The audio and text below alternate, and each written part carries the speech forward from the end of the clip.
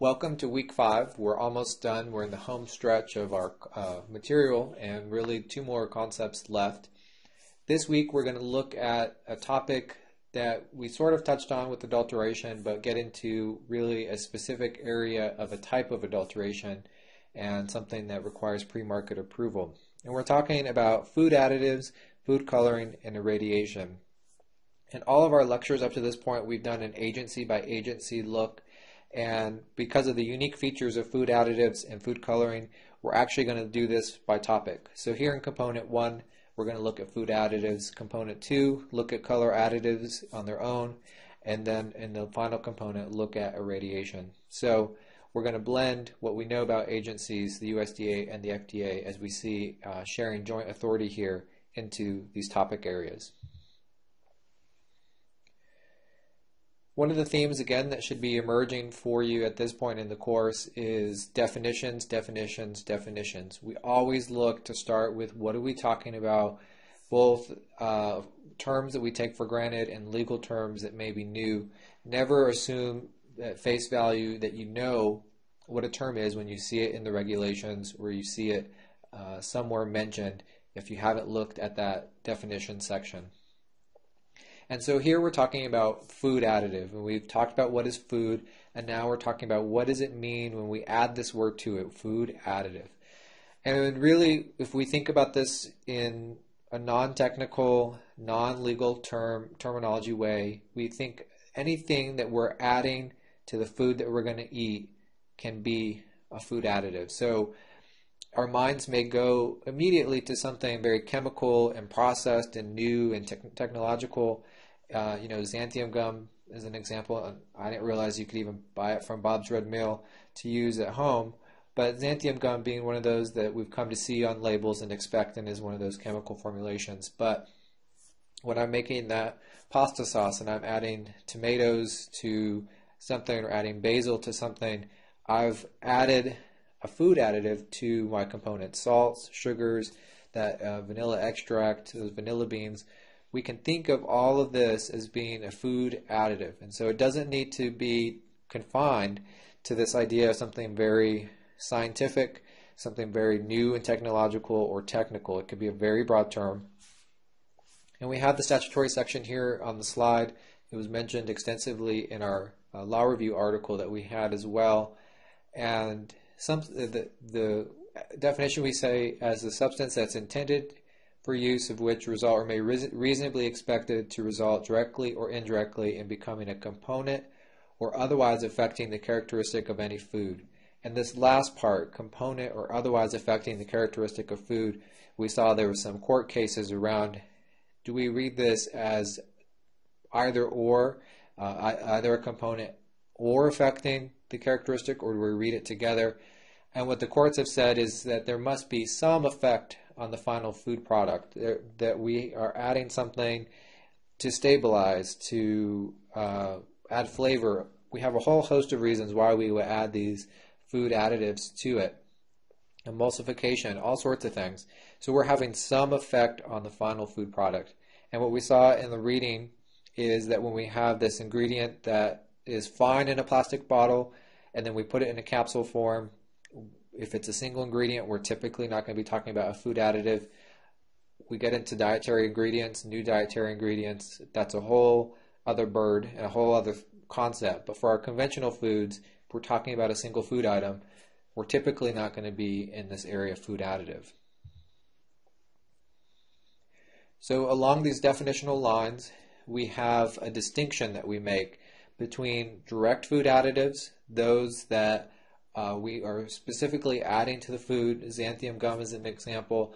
Chocolate milk, when I'm adding that chocolate syrup to the milk, uh, any of those sort of things that we're adding to become a component of the food, those are we, what we think of as a direct additive of the food itself, a food additive. And the readings got into this uh, court case involving food uh, packaging as an example of what we mean when we talk about indirect food additives. And what we really are focusing is on food packaging, food handling, and and the like. And anything that has that that reading discusses about that ability to migrate over from the container into the food. And probably the best example that we can think of in, in recent memory, the past year to two years, is this big discussion we've had about uh, A, BPA, BPA plastics, and, and the big marketing term that came out of that was BPA free plastics.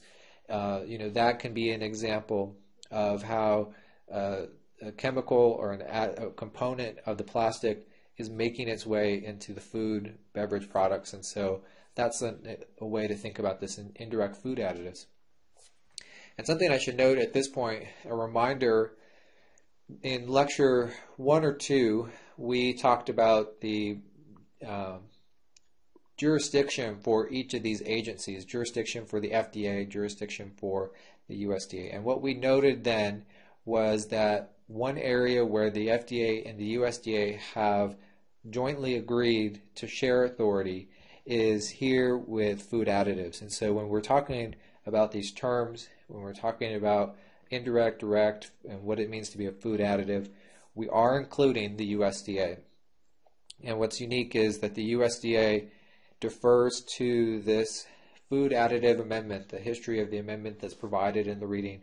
The USDA defers to that definition. There's no corresponding or parallel definition in the Federal Meat Inspection Act or the Poultry Products Inspection Act. There is this one definition in the Food, Drug, and Cosmetic Act that the USDA defers to the FDA and then does play some role in that we'll get into as well. So we are talking about the full gamut of food products when we mention these definitions. So what we learned from the reading and what we want to make sure we leave this week with is there are there is this idea that if you are an unapproved food additive that the product is adulterated and we don't have to get into this concept of poisonous or deleterious, may render injurious, ordinarily injurious. If we deem that it is a food additive and it's not an approved food additive, then we have an adulterated product. And so that's concept number one that we want to make sure we leave with. And concept number two is how do we have an approved food additive? And that's what these next few slides are going to get into. And we have essentially three avenues, three doors that you can get into the, the realm of approved food additive. And we're, if you've uh, experienced U.S. law in other areas, you've probably heard this concept of grandfathered in, uh, essentially saying anything that existed prior to the en- enactment of this law, we're going to allow, and then going forward, anything new created after this date has to go through this process. And that's what we mean by grandfathered in. And you'll hear these referred to as prior sanctioned substances. And it's always kind of funny to look at these because we have to look at the specific date that this amendment was enacted. And it was uh, September 6th of 1958. As you saw in the reading, took six years of hearings and development for this to come. And was finally passed on September 6th of 1958. So if you invented a brand new stabilizers, for example, uh, a brand new emulsifier, whatever the food additive may be, on September 7th, 8th, 9th of that same year, then you had to go through another door that we'll talk about. You couldn't go through this prior sanctioned substances. So when we talk about this prior sanctioned substances, we have to be really specific in what we're talking about. And it's anything prior to September 6, 1958. We can give some examples both on the USDA side and there's a whole list in the Code of Federal Regulations, Section 181, if you're interested, uh, those that the FDA knows about. And you can always petition to demonstrate that there is one that's not listed and, and have it listed if you're successful. But we have sodium nitrate, potassium stearate. There's a whole huge list of these prior sanctioned out there, but we need to be very specific in that definition. So that's that's door number one, and we can also get in through door number two which is this concept of generally recognized as safe. And we have uh, this criteria for conventional foods, and we have a similar but different criteria for dietary supplements. So, again, even though dietary supplements is a food product, it has some own some of its own uh, criteria and estab- established uh, areas. So, for conventional foods, what we're talking about is recognition by uh, experts that there's this history of use prior to 1958. We're typically going to have some limitations. You know, it's not that uh, potassium stearate, if that was on the Gras side, uh, that that was used at all levels, but it was going to be at a specific threshold, uh, parts per, um, you know, that we'd be using, milligrams, whatever we'd be using, and we have to stay at that threshold for that use in that food. So the Gras is very specific when we're looking at history of use as well as on the published scientific evidence. So you know, records all the way back to Roman times about salt and, and sugars and these different spices. So we see these come in as, as Gras, and that's door number two that we can get through. And we have to remember that we have these two doors, but that nothing is absolutely permanent. And so if you're a prior sanctioned uh, substance, the reading gets into this that, you know, it really should be sacrosanct and that these should not be something that's easily removed but they can be removed. And the FDA, again, has to have a very legitimate basis to do this to survive a challenge. Uh, you can imagine by this point an uh, Administrative Procedures Act challenge if the FDA just said, we're taking out X, Y, and Z products because or, or not because and just and just takes them away. So there are examples of uh, prior sanctioned products that were have their approval revoked. And the same applies for the Gras status. If new scientific evidence comes forward that demonstrates the product is no longer recognized as safe, then it, it can be pulled. And we have a really recent example of that with trans fats, the FDA issuing a new statement, a new rule saying that based on scientific evidence, partially hydrogenated oils are no longer generally recognized as safe. And so what that means is that once you are taken out of this door one or door two, then your product is still a food additive. And so now you have to take your product through door three, which can be really challenging. If the FDA has already said, we don't think this product is safe, the burden is really high on that person that wants to use and gain approval for that food additive to clear what the FDA has already said is, is deemed unsafe. But I did want to share with you uh, this Gras revocal of trans fats, partially hydrogenated oils, is a clip that uh, gets into that discussion. And again, if the video quality isn't so good, I'll put a link in and, and make sure that we have uh, that to play. The ingredients that make cookies and cakes taste better and pie crusts flakier. But today, the Food and Drug Administration says trans fats are no longer recognized as safe, and the FDA intends to ban them. Chip Reed caught up with the FDA Commissioner, Dr. Margaret Hamburg. Trans fats increase your risk for heart disease. It turns out that they elevate the so-called bad cholesterol, LDL. Will this save lives and avoid heart attacks? This action will save lives. The CDC estimates that if we can reduce the levels of trans fat currently in the American diet, uh, we can probably save about uh, 7,000 people from uh, preventable death and prevent about 20,000 heart attacks. Trans fat is created by turning liquid vegetable oil into fat. Processed food manufacturers use it because it extends the shelf life and improves the flavor of some foods, including snack foods such as microwave popcorn, crackers, and cookies, packaged soups, cakes, pies, and biscuits, stick margarines and vegetable shortenings, and ready-to-use frostings. And some restaurants use trans fats in fried foods. The food and restaurant industries are doing little so far to resist the ban, noting that they've been voluntarily reducing trans fats for years. In 2003, Americans consumed 4.6 grams of trans fats a day. By 2012, it had plummeted to 1 gram a day, but the FDA says there is no safe level of consumption. New York City banned the use of trans fats in restaurants seven years ago. More than a dozen other localities followed. In an interview for CBS This Morning, New York Mayor Michael Bloomberg, who led the charge, said that even the restaurants are better off. They did not do what some people feared, and that was to replace trans fats with something that was even worse. They replaced it with something that was better, and their business is better than ever.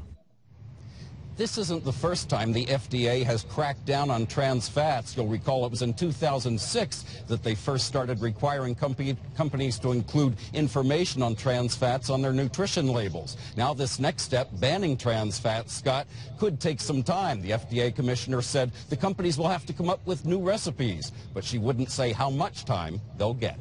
Chip, thank So you can see based on that clip why it would be difficult now that we've pulled the GRAS status from partially hydrogenated oils and made them food additives, why that approval process would be difficult when the FDA is saying, based on our current science, we say there is no safe level of partially hydrogenated oils. It's not an envious position to be in if you actually want to go through that process of petitioning the FDA to say there is. And so often you'll see that companies will just make a cost benefit analysis and say it's better to find a food additive that we can, can get approval for or that does have approval than to go through what we'll talk about in the next few slides is the approval process. So again, a reminder, we are talking about the food additive petition process, which is door number three, the third way to get food additive approval. And this is the door, all of these that we have talked about are doors that both meat products that fall under the Federal Meat Inspection Act, the Poultry Products Inspection Act, the Egg Products Inspection Act, all of those areas the USDA has authority must go through as well. And so the Food Safety Inspe- uh, Inspection Service shares this responsibility with the FDA for the food uh, safety of the food additives used in the meat, poultry, and egg products, but they will allow the FDA to evaluate the safety under their authority from the Food, Drug, and Cosmetic Act, and then additives that are proposed for use in meat will receive specific authorization by the FSIS, uh, and they'll make a determination on the suitability of the food additive. So it's a shared responsibility. It begins with the FDA and then it passes on to the Food Safety Inspection Service. Uh, and, and both have equal say, but I would say for the most part, in terms of safety, the FDA is an overriding authority. And this petition process begins with the premise that this food additive is not safe. And it's your responsibility going through the petition process to say it is safe and to clear that hurdle of evidence, that threshold of evidence to show that it is safe. There's a whole process that process that's set out both in the statute and in the CFR, and it's basically five components. Deceivingly simple when you put it in a list like this, uh, but really it can be a several year long process. It is parallel in some ways to the drug approval process, where you really have to demonstrate safety, starting with animal safety tests, moving to human safety tests, showing tests uh, often that um, you know involve beyond the amount that you would expect consumed. The only real difference that we see in the food additive and the drug process that the FDA uses is as the article gets into this is a generic process. So once someone does this, then everyone else is free to use that food additive. So uh, it's in some ways unfair, but you know it is still subject to the patent requirements. So if it is a patented food additive for the length of that patent, you would have exclusivity. But then once that patent expires, uh, that food additive is still cleared. It could still be marketed by other companies. So the two things that are uh, of note, again, providing convincing evidence that the additive performs as intended and is completely safe and this typically involves uh, animal studies in large doses of the additive for long periods of time. The FDA is really concerned about the chronic use and making sure that if someone overconsumes in the amounts that of the food additive, that there's not going to be a detrimental effect. So it is a lengthy and difficult process, and that is why you see the other two doors become so attractive, even if they are difficult to achieve. And the article gets into some of the perils of the GRAS system and the ability to self-affirm GRAS and also to uh, involve the FDA in the GRAS determination. But if you can fit into one of those other two doors, it makes the process a ton easier. But if you have to, and if there's a benefit to doing it, there is this food additive petition process. So that's food additives in a nutshell. And what we'll do next is we'll move into color additives.